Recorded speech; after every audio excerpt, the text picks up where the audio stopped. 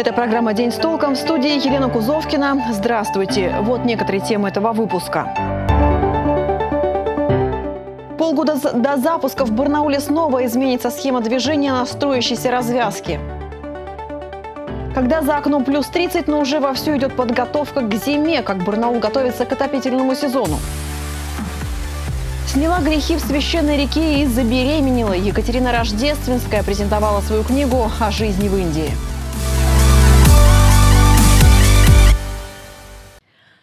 Итак, прокатиться по многоуровневой развязке на Зминогорском тракте можно будет уже этой осенью. До запуска грандиозного транспортного узла остается всего полгода.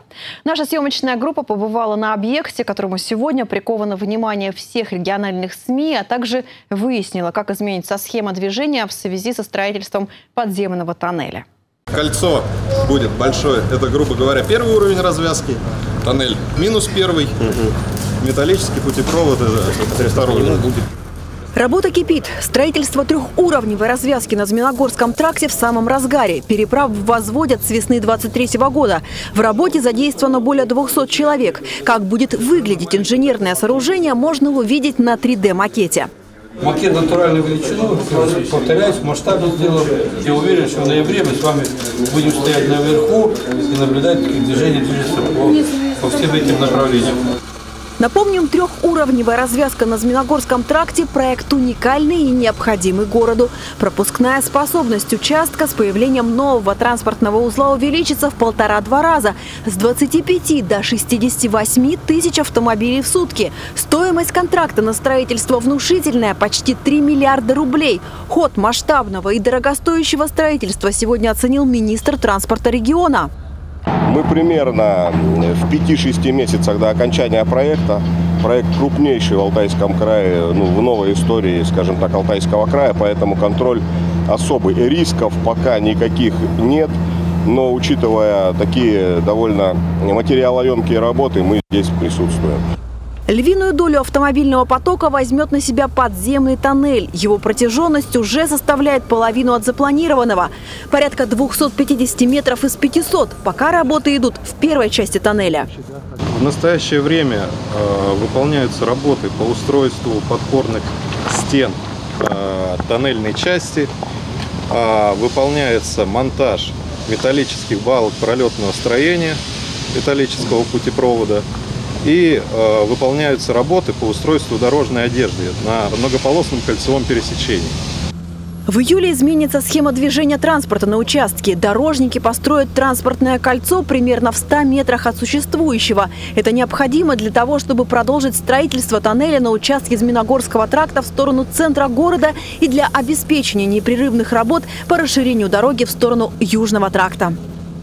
Елена Кузовкина, Валентина Аскерова, Владислав Ковалев. День с толком. Ну а завтра в Барнауле демонтируют трамвайное кольцо около торгового центра «Пионер». Напомним, его устанавливали на время ремонта путепровода. Завтра в 10 часов вечера ведут ограничения для автомобильного транспорта, а именно перекроют четную сторону проезжей части проспекта Ленина в районе пересечения с улицы Пионеров. Для общественного транспорта также организована схема дорожного движения. Информация о маршрутах, которых это коснется, размещена на сайте мэрии. Добавим, ограничения снимут 29 9 июня в 14.00. Подготовку города к зиме начинают уже сейчас. С 1 июля приступят к ремонту и модернизации инженерных сетей Барнаула. Особо важными участками в этом году стали проспекты Ленина и Красноармейский. Как будут проводить работы, рассказали представители администрации города и ресурсоснабжающих организаций. Тему продолжит Юлия Щепина. Готовь сани летом, а телегу зимой. Так уже началась активная подготовка городского хозяйства к работе в следующий зимний период. В этом году э, в городе Барнауле будет выполнен ремонт, перекладка, модернизация, можно разные слова подбирать, э, почти 24 километров тепловых сетей, более 10 километров водопроводных и канализационных сетей – 87 километров электрических сетей. На эти работы ресурсоснабжающие организации заложили более 3,5 миллиардов рублей, плюс дополнительное городское финансирование – более 110 миллионов рублей. Работы всех организаций будут проходить комплексно, чтобы создавать меньше помех для движения. возможность сокращения сроков мы будем к этому стремиться. Вся надежда только, конечно, на погодные условия, потому что предприятия и подрядные организации полностью готовы, и силы средства все имеются. В надлежащее состояние приведут особо важные участки города. Это инженерные сети под проспектами Ленина и Красноармейским. Причина не только в аварийном состоянии труб, а больше всего это э, состояние железобетонных конструкций. То есть у нас под трамваями и под, желез... под дорожным полотном, по заключению экспертной организации, э, состояние железобетона уже в неудовлетворительном состоянии. То есть если мы его еще отложим на один сезон, то ну, опасения справедливые, или трамвай, или, не дай бог, автомобиль могут, конечно, туда в один прекрасный момент уйти. Поэтому надо эти работы выполнять. На проспекте Красноармейском запланированы работы в районе улиц Песчаный и Папанинцев. На Ленина участок пересечения с улицей Партизанской. Для удобства жителей города при перекрытии участков дорог администрацией разработана схема дорожного движения последующий мониторить, смотреть более напряженные узлы, точки и с учетом уже необходимого где-то дополнительно, может быть, э, менять организацию движения уже на конкретно локальных участках, где мы будем выявлять ну, проблемные точки. Подробно ознакомиться с информацией о перекрытых участках полотна можно будет на официальном сайте и в соцсетях Барнаульской администрации. Завершить работы планируют к 1 сентября. Юлия Щепина, Дмитрий Денисов. День с толком. В Барнауле взялись за несанкционированные торговые точки, палатки, складные столы, ящики и не только. Так, накануне в Октябрьском районе специалисты администрации провели рейд на улицах Пионеров, Чудненко и 40 лет октября. На всех нелегальных продавцов составлены протоколы об административных правонарушениях. Также, если торговая точка нарушает действующую схему размещения на территории Барнаула, предусмотрен штраф или предупреждение. Штрафы достаточно внушительные, на граждан до 3000 тысяч рублей, на юридических лиц до 50. При повторном нарушении на граждан уже до 5 тысяч, на юрлиц до 100 тысяч рублей. Жительницу Калманского района приговорили к принудительным работам за убийство своего новорожденного ребенка. По словам горе-матери, она не хотела еще одного ребенка и вообще думала, что он родился мертвым, так как на каком-то этапе беременности она пыталась сделать медикаментозный аборт. Однако суд установил, что в сентябре прошлого года женщина на своем приусадебном участке родила здорового мальчика. Затем завернула его в одеяло и перекрыла доступ к кислороду. Накануне жительница Калманского района вынесли обвинительный приговор. С учетом наличия рецидива ей назначено наказание в виде лишения свободы на два года. Однако его заменили на принудительные работы. Нужно 400 тысяч рублей, отдать могут две. Такую помощь предложили женщине с инвалидностью, у которой после пожара пострадал частный дом. Дом построил ее уже покойный отец и не успел его приватизировать. Сейчас это накладывает дополнительные проблемы для пострадавшей семьи. В теме разбиралась Дарья Ерошина. Ольга, две ее дочери и кот остались живы. Пожарные успели вовремя. Недавно здесь сгорели баня с гаражной пристройкой, а электрика еще и намокла при тушении пожара. Огонь перешел и на соседний дом. Прошлое воскресенье я затопила баню. Я подкинула сухие полежки и сырые полежки. Потом через какое-то время вышло, у меня полежки шают и не горят. Я подкинула еще два полежка. Через 10 минут, когда я вышла, уже на бане была вот так труба, вокруг трубы было пламя. Я побежала вызывать пожарных.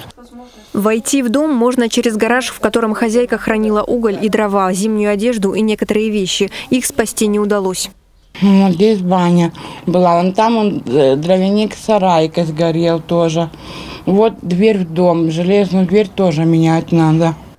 Предположительно, возгорание произошло из-за повреждения в печной трубе бани. Огонь разошелся по потолку и через проводку дошел до кухни в доме. Света нет, как и возможности проложить новую проводку. Ольга – инвалид третьей группы. Этот дом строил ее уже покойный отец в кредит. Приватизировать дом не успели. А вот долги теперь нужно отдавать. А тут еще и пожар принес новые траты.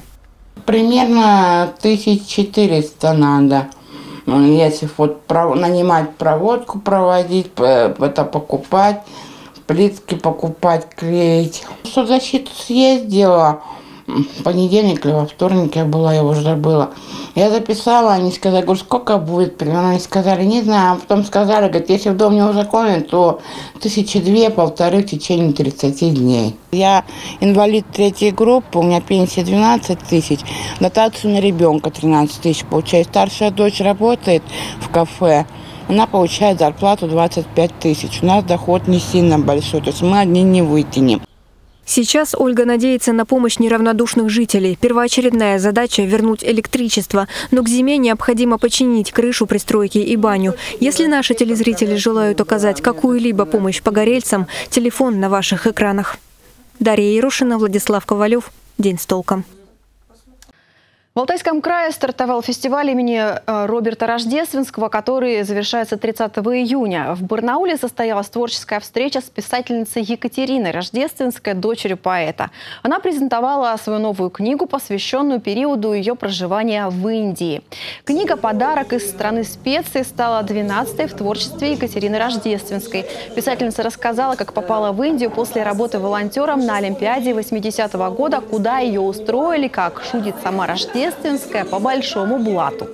Это было «Мама моет раму», как это все вот иностранцы должны э, начать свое обучение. Это меня так, э, я не могу сказать, что унижало, а обижало, потому что ну, смысл э, заканчивать там, с отличием школы институт, чтобы опуститься до аза а после Олимпиады Рождественская оказалась в Индии. Как призналась писательница, долгое время она не могла забеременеть. По совету индийской знахарки Екатерина окунулась в священную реку Ганг для снятия грехов, и ее не испугали даже плавающие в водах реки останки индийцев.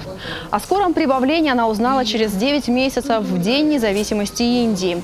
Впечатления о стране специй легли в основу книги. Встреча с дочерью поэта завершилась автограф-сессией, а прямо сейчас фестиваль продолжается продолжается в концертном зале «Сибирь», где Екатерина презентует книгу «Роберт Рождественский. Чужой билет». Там же проходит литературно-музыкальная программа «Помогите мне стихи». Напомним, что кроме Барнаула памятные мероприятия пройдут также в Тальменке, Новоалтайске, Алейске и на родине поэта в Косихинском районе Алтайского края. В Сибирской медиагруппе подвели итоги онлайн-голосования на звание лучшего социального работника Алтайского края. Свои заявки отправили около 200 участников. За две недели в общей сложности было набрано 120 тысяч голосов.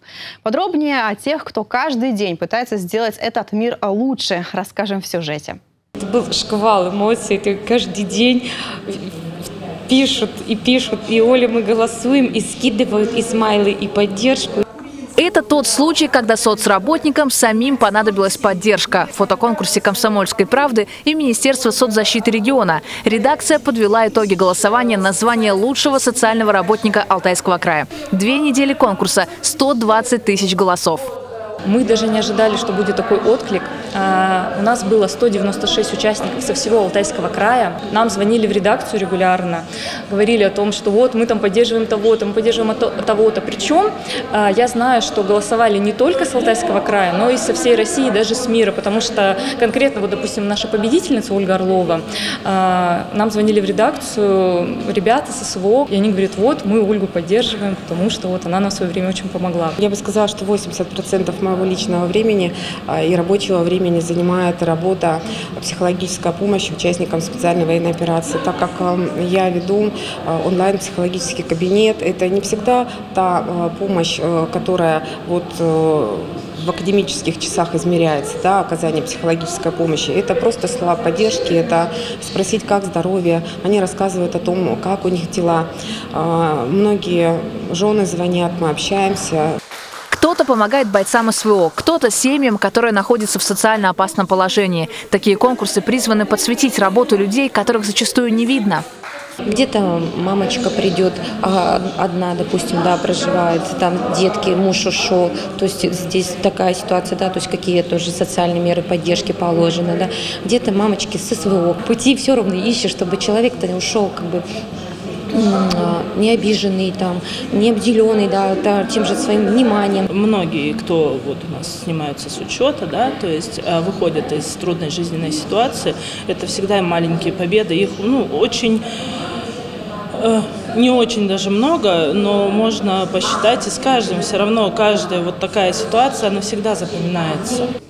Все женщины получили подарки, которые помогут им расслабиться с такой работой. Это отдых в Белокурихе и посещение банного комплекса. А все, кто участвовал в конкурсе – дипломы. Редакция передаст их в Министерство соцзащиты края. Кстати, совсем скоро пройдут другие конкурсы – лучший работник почты и работник железной дороги. Ирина Корчагина, Алексей Фризин. День с толком. На этом у меня все новости. Напоминаю, что для вас работает телефон нашей редакции 205 545. До встречи в эфире. Далее о погоде.